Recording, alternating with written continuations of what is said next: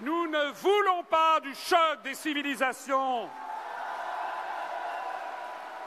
Nous ne voulons pas du monde multipolaire. Nous ne voulons pas du nouvel ordre mondial qui nous entraîne à son choc.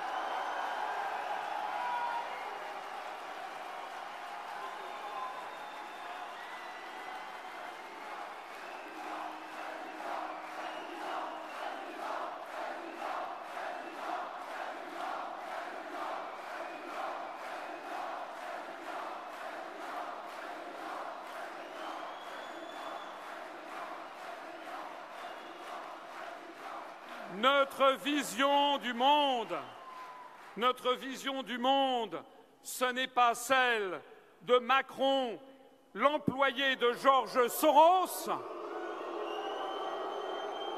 Notre vision du monde de demain n'est pas celle de Georges Soros, c'est celle de Sri Aurobindo.